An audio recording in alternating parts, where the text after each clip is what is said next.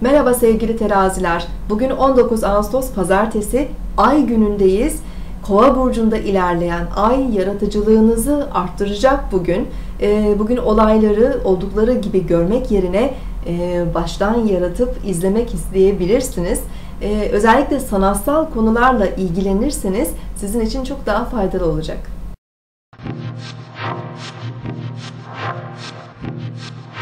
Burcunuzu dinlediniz. Bugün 19 Ağustos Pazartesi Ay günündeyiz.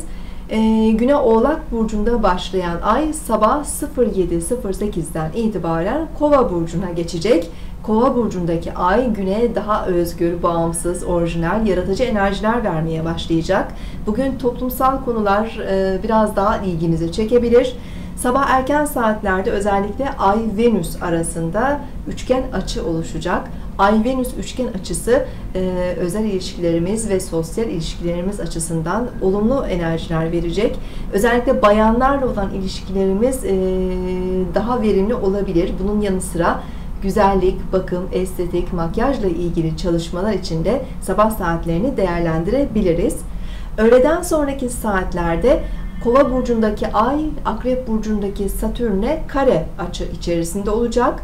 Ay Satürn kareleri duygusal olarak biraz sıkıntı, karamsarlık verebilir. İş ve sorumluluklarımızla ilgilenmemiz, aile büyükleri, e, otorite kavramları ile ilgili konular biraz daha öne çıkabilir. İlişkilerimizde dikkat etmemiz gerekiyor.